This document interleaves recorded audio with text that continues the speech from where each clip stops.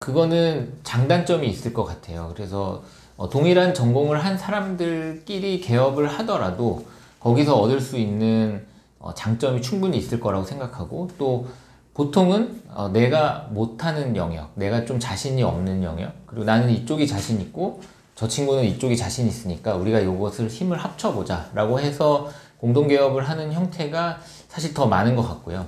동일한 전공을 한 사람들끼리도 사실 우리가 같은 전공을 했지만 너랑 나랑 힘을 합치면 더 큰 시너지를 낼 수 있을 것이다 라고 이렇게 공동 개원을 할 수도 있고 또 그것이 좋은 효과를 발휘하는 경우도 네, 봐왔습니다. 네. 뭐가 더 낫다 이렇게 말씀드리기는 조금 어려운 것 같아요. 저는 이제 제가 치과 보철과를 전공했고 제가 병원을 오픈할 때 같이 공동 개원한 선생님은 구강외과를 전공을 하셨어요. 그리고 또 다른 우리가 치과에서 진료를 보는 전문 영역, 어, 치과 교정과, 치과 보존과 선생님을 또 모셔서 어, 처음에 병원을 시작할 때는 4명의 치과 의사가 각 과별로 이제 전문의를 취득한 4명의 치과 의사가 진료를 보는 형태로 시작했고요. 제가 아무래도 전문의 과정을 하다 보면 내 주 진료 영역을 3년, 4년 동안 계속 진료를 하고 공부를 하다 보니까 다른 영역에 대해서는 내가 자신 있는 분야만큼의 어떤 기술과 지식이 있다고 자부하기는 좀 어렵거든요. 그래서 그 분야에 또 자신이 있는 사람들하고 진료를 같이 보는 것이 어, 저는 굉장히 만족스러웠고 또 결과도 좋았다고 생각합니다.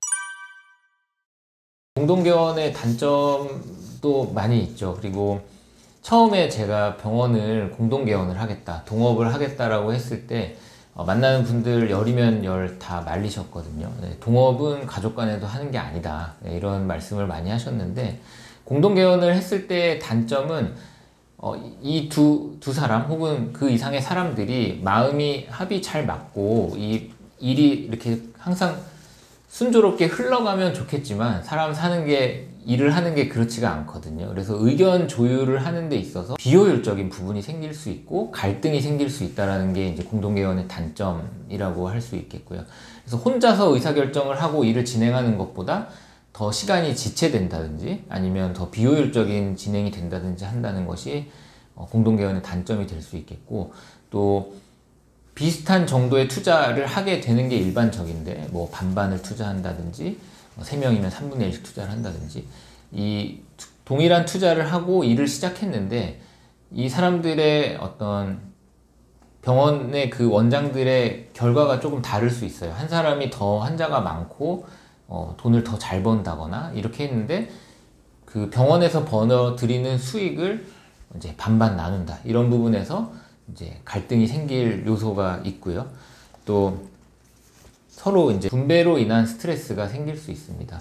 공동 개원은 사실 동업은 분배로 시작해서 분배로 끝난다라는 얘기를 하는데요. 그러니까 소득의 분배뿐만 아니라 어, 일을 어떻게 분배할 것인지 어, 그리고 그걸 통해서 얻어지는 결과물을 또 어떻게 분배할 것인지 이것들을 서로 나누고 조율하는데 좀 스트레스를 받는 상황이 될 수 있다고 생각합니다. 저도 이제 공동개원을 8년 정도 하다 보니까 주변에서 이제 개업을 앞두고 있거나 또 공동개원을 고민하는 후배들이나 친구들이 찾아와서 조언을 구하는 경우들이 꽤 많이 있는데요. 어, 지금 너는 굉장히 절박할 텐데, 어, 내가 하는 얘기가 좀 철학적으로 들릴 수 있겠지만, 나중에라도 좀 생각해 봤으면 좋겠다라고 얘기하는 것이, 어, 너가 어떤 사람인지, 그리고 네가 동업을 고민하는 파트너가 어떤 사람인지에 대해서 좀 잘 알아라. 네 스스로를 좀 알아라. 라고 얘기를 하거든요.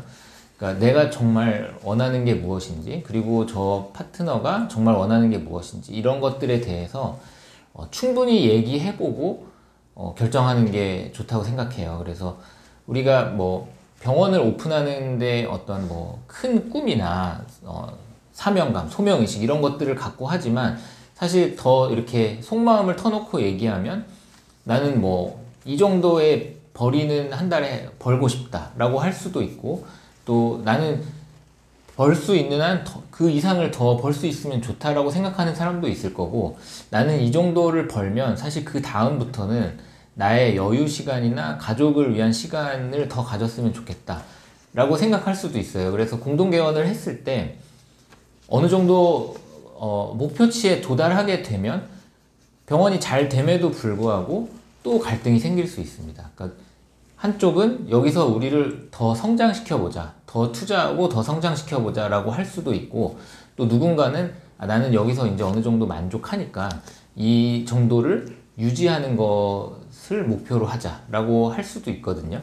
그래서 당연히 사업이 잘 안 되면 서로 간에 갈등이 생기는 거는 당연하겠지만 사업이 잘 되더라도 갈등이 생길 수 있고 그런 것들을 사전에 어, 좀 충분히 얘기를 하고 어, 결정을 하는 게 좋겠고 또 그 과정에서 우리가 공동개원을 하는 과정에서 서로 뭔가 어, 갈등이나 어떤 예민한 상황들이 전혀 생기지 않는 건 아니거든요. 그래서 그런 것들을 서로 풀고 해결해 나가야 되는데 어, 서로 간의 어떤 커뮤니케이션, 소통이 잘 되는지 이런 것들도 좀 미리 확인을 할 수 있기 때문에 좀 마음속에 있는 충분한 대화를 나누고 결정하라고 어, 얘기를 합니다. 그리고 뭐 단독 개원을 하는 경우에도 어, 내가 너 스스로를 좀 정확히 알아라 라고 얘기하는 것이 대부분 이제 병원을 오픈하는 사업을 시작하기에 앞서서 많은 사람들이 하는 얘기가 어, 나는 돈에는 그렇게 큰 욕심은 없어 라고 얘기를 하거든요. 근데 스스로에게 냉정히 한번 물어봐라 라고 얘기합니다. 어느 정도의 소득에 만족할 수 있는지, 그리고 그 소득에 도달했을 때 어, 나는 그거 이상을 하고 싶을 것인지, 아니면 거기에 만족하고, 어, 뭐 예를 들면 현상 유지를 목표로 한다든지, 네, 그런 것들을 본인에 대해서 좀 더 냉정하게, 솔직하게 알아보는 것이 좋다라고 생각합니다. 제가 병원을 공동개원을 하겠다라고 했을 때 결혼 생활에 대한 얘기를 해주신 분들이 꽤 많았어요. 근데 저도 이제 8년 정도 지나고 나니까 주변에서 얘기를 물어보거나 할때 어, 결혼 생활에 빗대어서 설명을 저도 많이 하게 되더라고요. 그동안 서로 다른 환경에서 살아온 사람들이 어느 날부터 이제 같이 한 자리에 모여서 어, 중요한 의사결정을 계속 같이 하게 되고 또 서로 좋지 않은 모습도 보고 싸우고 해결하고 이런 것들의 과정이 어, 결혼과 굉장히 비슷한 면이 있습니다. 그래서 저도 이제 연애를 7년을 하고 결혼을 했는데 그러고 나서 신혼생활에 아 내가 이 사람에 대해서 이렇게 잘 모르고 있었구나 이런 것들이 꽤 있었거든요. 근데 지금 공동개원도 마찬가지였던 것 같아요. 그래서 나는 이 공동개원을 제가 먼저 제안을 했는데 이 동업자가 이런 사람일 것이다 이런 사람인 줄 알았는데 근데 막상 같이 해보니까 그게 아니었던 거죠. 예, 그런 부분도 있고, 어, 그래서 결혼 생활과 좀 비슷한 면이 있고, 또 하나는 저는 결혼 생활을 잘 유지하기 위한 제 나름의 노력은, 어, 내가 손해본다라는 생각을 하지 않는 것이라고 생각하거든요. 그래서 저도 그렇고, 제 아내도 그렇고, 어, 내가 얼마나 힘들었는지를 얘기하기보다는 어, 상대가 얼마나 힘들었을지를 먼저 얘기하고 이해해 주려는 노력이 필요하다고 생각하는데 공동 개원 동업도 마찬가지라고 생각합니다. 내가 일을 더 많이 하는데 어, 가져가는 거는 쟤랑 나랑 똑같이 가져간다. 이런 생각을 하기 시작하면 사실 공동 개원을 유지하기가 좀 어렵게 되겠죠.